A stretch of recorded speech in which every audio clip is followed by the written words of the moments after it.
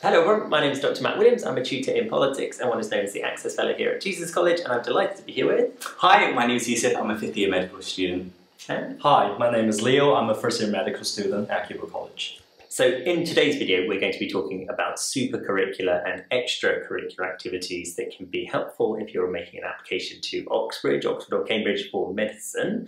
So first of all, what do those terms even mean? Uh, supercurricular, Yusuf? Yeah, so supercurriculars are really anything that either broaden or deepen your understanding of the core syllabus, and it allows you to explore something that you might have covered in A-level biology or chemistry, but to the greater detail. So it's not actually on the syllabus, but you're covering it to further detail.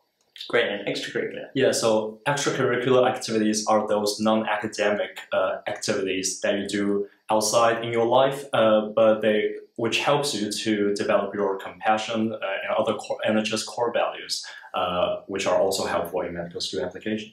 Fantastic. So let's start personal, Yeah. right? Yeah. what did you do Yeah. in order to put some stuff in your personal statement? Sure, so I'll answer that. I think the first thing I'd say is like a public service announcement is that these are only examples that we've done and that they don't mean that you have to do them as well. Mm-hmm. So from our personal experiences, I did do an EPQ that my school offers. What I do want to say with that is if your school doesn't offer an EPQ, that's absolutely fine because you could always do a science club, for example. I was just part of a science club or if you don't have a medic club, you can also just found a medic society in itself and that can be really quite useful where you can explore either medical articles that come up, there's loads of stuff happening on BBC News, The Guardian, so be sure to check them out and develop that habit on a regular basis. Yeah, so as Yusuf said, none of those uh, personal stories are any sort of uh, disciplines that you have to follow. They're just suggestions. Uh, personally, I uh, so for super uh, curricular activities, uh, I involved myself in several scientific competitions like a, math challenge, purely because I'm interested in that and I want to develop more knowledge in terms of mathematics and also just uh, I want to work with a team uh, to get a high score in the competition. Um, but that's nothing essential that you have to do. Uh, in terms of extracurricular, uh, I'm quite the uh, opposite of what's a quintessential um, uh, medical applicant because I didn't have any unfilled uh, work experience, and that's absolutely fine. Uh, it's not a- an essential demand for Oxbridge uh, medic application uh, to have work experience. It's really to develop your own compassion and empathy and so what I did was I, uh, looked at a lot of online work experience, like that one from uh, Brighton and Sussex, and it really helped me uh, gain a better insight into what medicine is uh, and how to how we should treat people as doctors, and that's what's important. Great. So I think it's fair to say, but correct me if I'm wrong on this, that supercurriculars are particularly important for medical application to Oxford or Cambridge. Why? Yeah, so um, I think at the end of the day, it's always worth thinking about the selection criteria that both Oxford and Cambridge have. If you haven't already, please be sure to Google Oxford Medicine selection criteria. They're very clear on the website what they're looking for. It's effectively a mark scheme, right, for the personal statement and for interviews. And one of the key things that they're looking for is actually your critical thinking and your intellectual curiosity.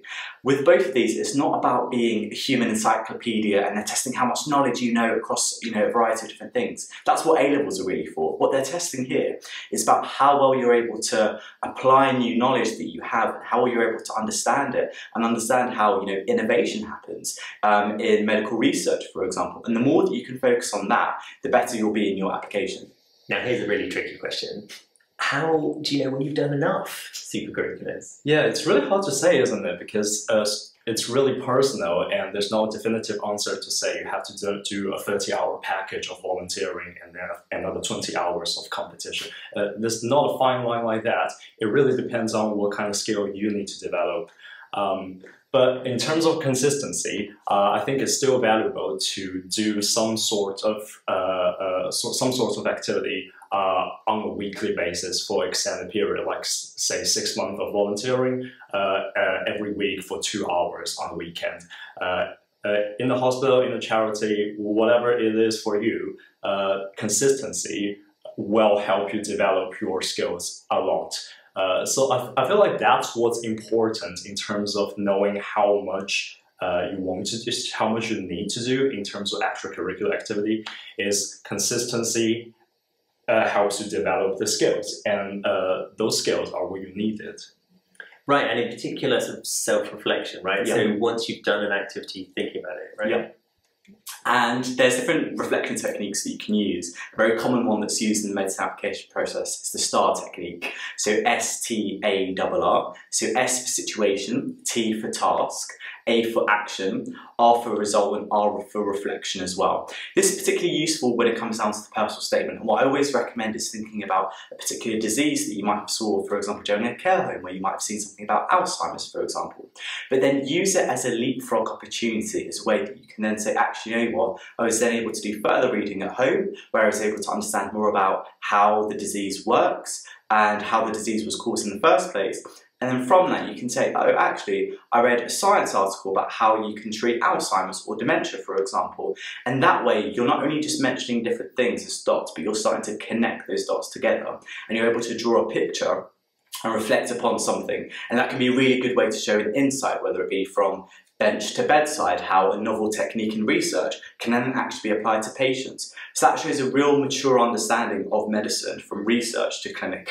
What about extracurricular activities? How important are those? Yeah, so um, as mentioned earlier, it is not uh, an essential requirement that you need to apply to Oxbridge uh, as a potential medical student, but they are very helpful in terms of uh, getting insight into medicine and also uh, develop your uh, uh, co- uh, develop your personality and values to line up with the NHS core value.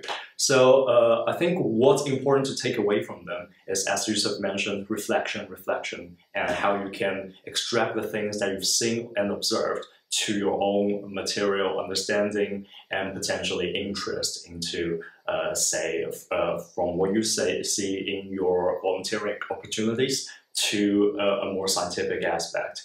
And uh, that is what uh, that's a core skill that Oxbridge values a lot in terms of reflecting from what you see, transfer it to problem solving skills. Right, so we're almost making extracurriculars into supercurriculars by finding that academic relevance, right, in whatever we do. So, what, mm. what sort of stuff could viewers do, do you think, Yusuf?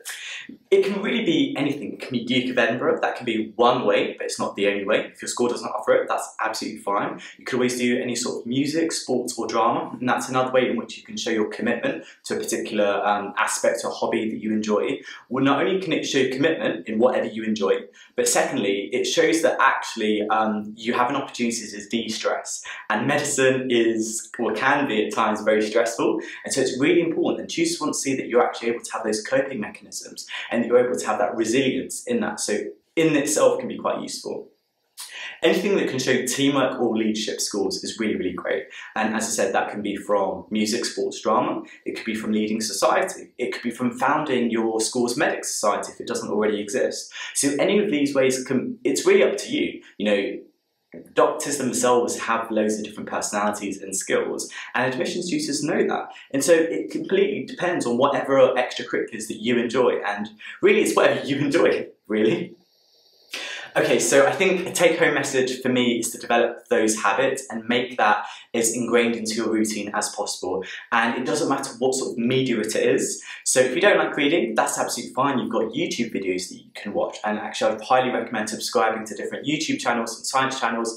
Kurzgesagt in a nutshell is a great one. They've got really good explainer videos on different diseases. And that can be a really good way to foster your intellectual curiosity of medical science. If you don't like watching videos or reading, you can also check out podcasts and subscribe to them. So my top tip is to develop that habit and really feed that intellectual curiosity of yours. Absolutely, and I would love to thank uh, Yusuf and Leo for their time today. And speaking of YouTube channels you should subscribe to, one of them has to include the Aspiring Medics, which is a fantastic channel. We'll provide all the details in the description. Go and check it out. It will be incredibly helpful to you on your journey to medical school. Thank you for watching. See you next time. See you in the next one. Bye.